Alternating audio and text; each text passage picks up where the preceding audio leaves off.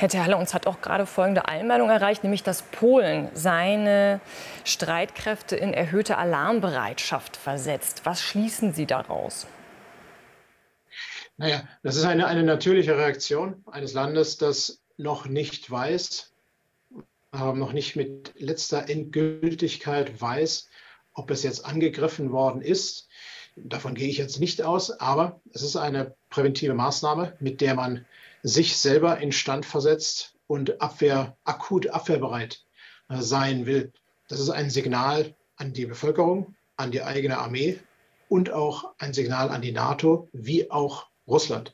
Also das ist eine, na, ich würde sagen, eine Standardreaktion, ähm, die jedes Militär ähm, der westlichen Welt äh, vollziehen würde. Würde so etwas passieren, von dieser Stufe kann das polnische, äh, die polnische Armee aber auch genauso wieder zurück treten. Es ist jetzt notwendig, ähm, diesen Schritt zu tun.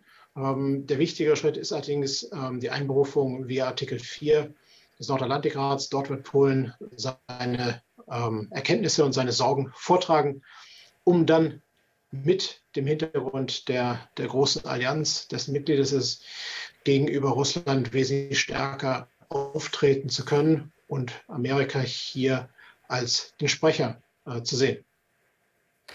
Maximilian Terhalle, Experte für Geopolitik und Strategie. Vielen Dank für Ihre Worte, für Ihre Analyse, für diesen Moment. Vielen Dank. Sehr gerne. Ja, also Polen hat seine Streitkräfte in erhöhte Alarmbereitschaft versetzt. Es ist also eine höchst angespannte Situation, die wir aktuell haben. Aber es ist noch nicht ganz klar, was passiert ist, ob es wirklich russische Raketen waren, die dort auf polnischem Gebiet eingeschlagen sind. Zwei Menschen sind dabei ums Leben gekommen. Wir werden das weiter aufarbeiten und gleich für Sie noch mal ordnen.